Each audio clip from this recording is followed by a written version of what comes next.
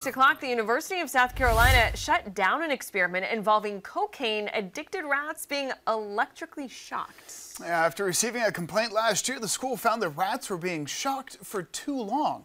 The project was being conducted by the school's psychology department and involved shocking the foot of rats that were given cocaine.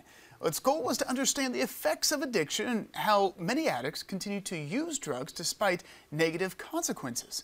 Well, the professor's research received close to a million dollars in grants over the last four years, but for now the project has been stopped. School investigators found that some protocols were violated during the research. In one violation, the rats were being shocked longer than protocols allowed.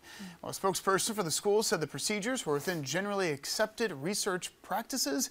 An animal rights group says that this is the kind of thing that gives people nightmares. The university released a statement on the findings saying in part, quote, USC is committed to upholding the highest standards in the ethical treatment and responsible use of animals on its campuses.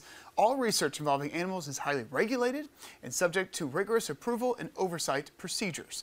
Now, we obtained documents that show this is one of three incidents in the last six months involving the school's animal research, and you can find those details on foxcarolina.com. And while the animal rights group wants this particular experiment shut down permanently, the school said the professor behind the project will be required to make changes mm. if he wants it to continue. Mm.